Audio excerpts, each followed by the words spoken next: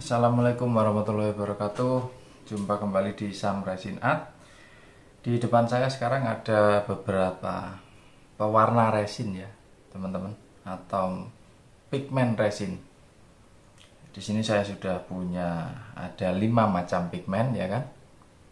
Uh, Mulai dari yang sini ini adalah pigment jenis metallic powder. Jadi ini bentuknya seperti serbuk ya kan hasilnya nanti seperti apa? Silahkan kalian ikuti terus videonya ya kan? Nanti saya akan coba aplikasikan ini langsung ke resin yang sudah saya siapkan di beberapa wadah gelas ini. Oke nah, lalu yang di sampingnya ini saya punya ini yang namanya pigmen cair. Jadi pigmen cair transparan. Nah biasanya ini disebut sebagai dye pigment DYE pigment.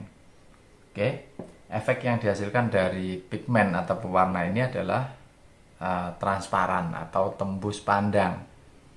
Jadi jika misalnya kita kasih sedikit, ya kan, tetap warnanya misalkan ini hijau ya, tetap warnanya hijau, cuman hijaunya hijau muda kayak gitu. Tapi kalau kita kasih banyak, ya tetap akan transparan, tidak menjadi solid gitu ya tetapi uh, warnanya akan lebih gelap lagi. Jadi menjadi hijau tua seperti itu. Kalau kalau aplikasinya ini banyak oke? Lalu yang di botol kecil-kecil ini adalah ini adalah pigmen jenis pasta. Uh, pigmen jenis pasta ini bisa diaplikasikan untuk warna solid bisa juga diaplikasikan untuk warna transparan. Jadi kalau kita ingin memakai solid, kita pakai aja pigmennya ini kasih ke resinnya agak sedikit banyak. Itu nanti akan menghasilkan warna yang solid atau tidak tembus pandang, ya kan? Nah, bagaimana kalau kita misalkan ingin memakai warna yang transparan atau tembus pandang? Ya kita cukup kasih ini sedikit saja, nanti hasilnya akan menjadi transparan oke? Okay? tapi kalau kebanyakan pakai pigmen yang model ini kalau kebanyakan nanti akan menghasilkan warna yang solid. Nah, jadi seperti itu ya. Jadi beda ini dengan ini. Kalau ini dipakai banyak tetap warnanya akan menjadi transparan atau tembus pandang ya kan? Cuman efeknya warnanya menjadi lebih gelap oke? Okay? lalu kalau yang di sebelah sini ini sama juga kayak ini ya pigmen pasta tetapi ini lebih ke warna solid. Jadi uh, kalau kita mau pakai warna transparan pakai pigmen yang model kayak gini uh, bisa saja ya kan? Dengan mencampurkan cukup sedikit sekali nanti warnanya akan transparan. Tapi agak susah kalau ini. Hasilnya pun berbeda dengan yang ini. Transparannya kurang begitu bagus kalau menurut saya. Jadi ini saya lebih uh, sering pakai biasanya untuk khusus untuk warna-warna yang solid seperti hitam kelam, hitam gelap gitu ya. Tidak transparan itu saya pakai warna ini karena solidnya benar-benar dapat. Solidnya memang mantap. Oke. Terus yang satu ini apa ini, Om? Nah, ini ini sama juga kayak ini. Jadi ini adalah jenis pigmen cair. Ya kan? Efeknya adalah transparan tapi kalau ini bedanya, ini adalah buatan pabrik ya kan, racikan pabrik. Ya kalau ini saya racik sendiri. Oke. Di samping itu harganya juga lebih murah dan terjangkau. Lalu untuk kualitasnya bagaimana? Kualitasnya selama ini saya buktikan eh, hasilnya ternyata juga nggak jauh beda dengan yang ini. Cuman aja kendalanya di sini saya warnanya agak terbatas karena saya hanya punya warna biru, merah, sama kuning saja. Oke, tanpa berlama-lama, langsung saja sekarang kita coba aplikasikan uh, satu persatu dari pigmen ini, bagaimana efeknya. Oke, di sini saya sudah siapkan beberapa gelas resin ya, yang sudah ada isinya resin ini. Oke, Uh, mohon maaf ini gelasnya memang agak terlalu besar karena gelas saya yang kecil itu kemarin uh, ini apa? Uh, habis jadi lupa nggak sempat beli. Oke sekarang kita coba yang warna ini dulu. Hmm, ini stick es krimnya juga pas lagi habis ini. Jadi ini saya, saya tadi pakai uh, kuas anak saya ini tapi nggak apa-apa lah ya. Uh, demi konten. Kalau misalkan harus menunggu besok gitu kan terlalu lama. Jadi saya udah nggak sabar untuk buat konten ini buat teman-teman. Oke ini saya campurkan yang uh, serbuk ya. Yang metallic powder tadi. Kan? Ini sedikit saja begini nah kita campurkan di sini. Oke teman-teman ya. Ini saya udah masukkan tadi uh, pigmennya yang metallic powder kita aduk. Nah hasilnya kira-kira kurang lebih seperti ini teman-teman. Ya kan? Kalian bisa lihat sendiri itu. Nah, ini sebetulnya ini warna ini bagus untuk membuat motif atau corak yang abstrak gitu ya. Jadi ketika kita mengaduk-ngaduk seperti ini itu akan kelihatan motifnya abstrak gitu loh. Bagus ya kan nah, kalian lihat sendiri Cuman nah, ada tetapinya. Kenapa kadang-kadang uh, jenis pewarna ini, pigmen metallic powder ini, kalau dibiarkan agak lama, dia itu nanti akan mengendap dengan sendirinya, itu. Nah, itu kalau menurut saya ya, menurut saya dan pengalaman saya selama ini, itu karena dari ini kualitas dari metallic powdernya teman-teman. Jadi kalau kualitas yang bagus, yang harganya agak mahal ya, terutama kalau kita beli pigmen yang dari luar, pigmen metallic powder yang seperti ini, itu memang dia itu nggak gampang ngendap teman-teman. Jadi setelah diaduk gini motifnya ini, ya kan, setelah kita buat motif seperti ini ya, udah bagus ini, dibiarkan agak lama pun dia itu masih tetap di atas gitu loh, masih tetap terjaga motifnya itu. Ini nggak nggak nggak gampang turun gitu loh. Ternyata setelah saya telusuri dan saya tanyakan itu memang ininya apa? Partikelnya ya kan? Partikel yang ini serbuk ini kalau yang dari luar yang merek-merek mahal itu itu memang lebih kecil ukurannya. Jadi dari bobotnya bobot dari serbuknya ini lebih ringan daripada yang kita sering jumpai atau kita beli di produk-produk lokal. Seperti itu teman-teman. Dan itu memang sudah saya buktikan sendiri ya. Memang kalau yang dari luar itu begitu saya aduk-aduk gini motifnya itu masih tetap terjaga gitu loh. Uh, karena memang itu tadi uh, lebih ringan ternyata. Jadi dia nggak gampang ngendap. Nah ini kan kalian lihat sendiri kan. Tadi waktu saya aduk-aduk sudah terbentuk motif ya kan? Begitu saya diamkan sebentar saja ini motifnya udah turun lagi gitu loh. Nah itulah kelemahannya kalau kita pakai produk yang produk lokal seperti ini teman-teman. Oke? Sekarang kita coba untuk yang warna ini yang dye pigment ini. Oke? Pigmen cair yang transparan ini teman-teman. Seperti yang saya sudah bilang tadi di awal ya warna ini menghasilkan warna yang transparan atau tembus pandang. Jika kita gunakan sedikit, maka hasilnya warnanya akan sedikit lebih mudah.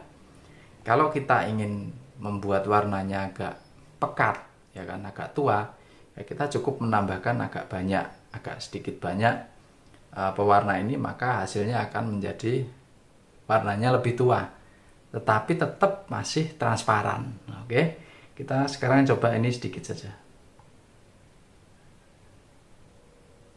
Oke. ini satu tetes ya. Kita aduk.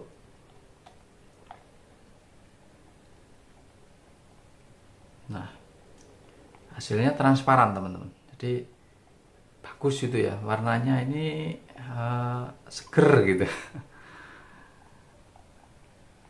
ya kan? Kalian lihat sendiri. Warnanya ini transparan. Bagus ya.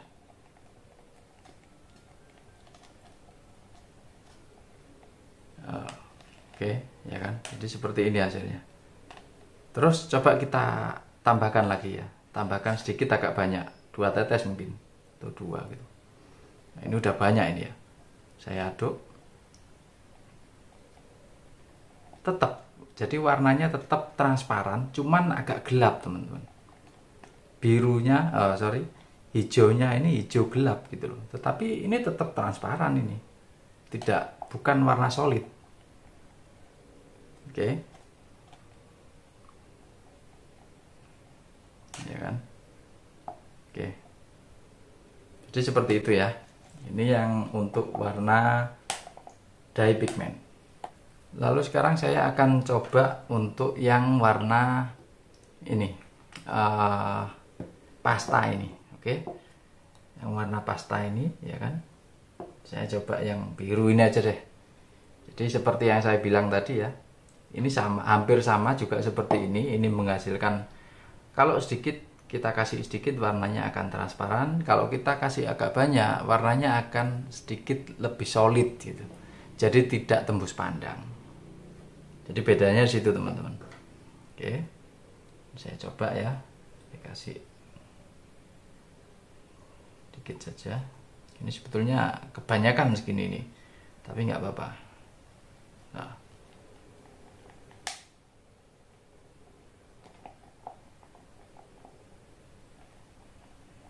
Ya kan? Ini sebetulnya tadi agak kebanyakan ini teman-teman. Jadi warnanya agak sedikit solid ini. Kalau misalkan saya kasih sedikit saja tadi ya biasanya saya pakai jarum apa uh, jarum kecil itu atau mungkin pakai lidi kecil gitu ya saya kasih sedikit gitu aja itu nanti warnanya akan transparan atau tembus pandang. Ini bagus ini juga. Kualitasnya bagus ya kan? Jadi hampir sama dengan ini ya kan cuman ini bentuknya cair kalau ini bentuknya uh, pasta. Oke hasilnya seperti ini teman-teman. Oke. Sekarang lanjut ke pigmen yang berikutnya. Sekarang kita coba yang ini teman-teman. Jadi ini yang pigmen pasta ya kan? Bentuknya pasta tetapi ini menghasilkan warna yang solid teman-teman bisa saja ini dibuat transparan cuman ini harus sedikit sekali. Ini ini agak agak susah ini. Jadi kalau mau buat transparan dengan pigmen yang model seperti ini itu akan agak agak susah ya. Jadi mending kalau kita mau menghasilkan warna yang transparan benar-benar tembus pandang saya sarankan pakai yang cair seperti ini model cair seperti ini. Bisa pakai yang ini bisa pakai yang seperti ini juga. Oke nah, ini saya coba untuk yang warna hitam ya kan saya kasih segini sedikit ya. Hmm. tuh kan?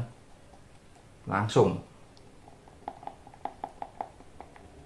Jadi efeknya ini langsung pekat solid warnanya. Ini tidak tidak transparan ini. Udah nggak kelihatan ya kan Jadi kalau pakai warna solid, baiknya pakai pigmen yang model seperti ini. Jadi sedikit saja itu sudah hasilnya udah langsung pekat, langsung solid. Seperti itu ya. Sekarang kita lanjut yang terakhir ya. Yang ini. Hasilnya seperti apa? Oke, sekarang kita coba yang terakhir ini ya. Ini adalah pigmen transparan juga. Ini ini boleh dibilang dye pigment sama juga dengan yang ini. Cuman bedanya ini lebih murah karena ini saya racik sendiri teman-teman. Jadi ya hasilnya boleh dibilang ini lumayan bagus menurut saya. Jadi kita kasih sedikit aja ya. Ini ini saya apa saya colekkan di sini sedikit gitu ya. Oke seperti ini kita campur. Nah. Ya kan? Jadi hasilnya transparan. Sama dengan yang ini tadi. Ya kan? Kalau misalnya kita ingin lebih pekat sedikit gitu ya kita bisa tambahkan. Ini saya kasih sedikit gitu aja satu tetes gitu ya. Ini agak susah ini karena emang nggak ada kemasannya ya jadi agak susah. Satu tetes gitu aja. Ah oke. Okay. ah ini jadi dua tetes ini. Oke. Okay.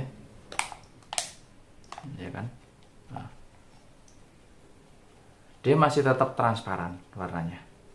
Birunya juga bagus. Birunya cerah ya kan bagus. Ya kan? Oke. Ini warnanya transparan. Bagus.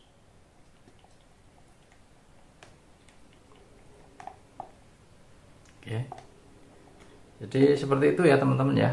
Uh, memang masih ada beberapa jenis pewarna lagi seperti misalnya alkohol ink ya kan?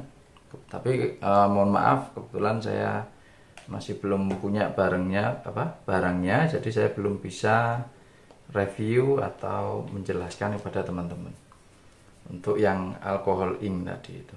Tapi biasanya kalau untuk alkohol ink itu biasanya sering dipakai pada uh, resin epoksi teman-teman. Oke? Okay? uh, saya kira cukup sekian dulu video kali ini ya. Mudah-mudahan bisa bermanfaat buat teman-teman jika ada pertanyaan, silakan kalian tulis pertanyaan kalian pada kolom komentar. Insya Allah saya akan balas semua pertanyaan dari kalian satu persatu. Sampai jumpa di video selanjutnya. Semoga bermanfaat. Wassalamualaikum warahmatullahi wabarakatuh.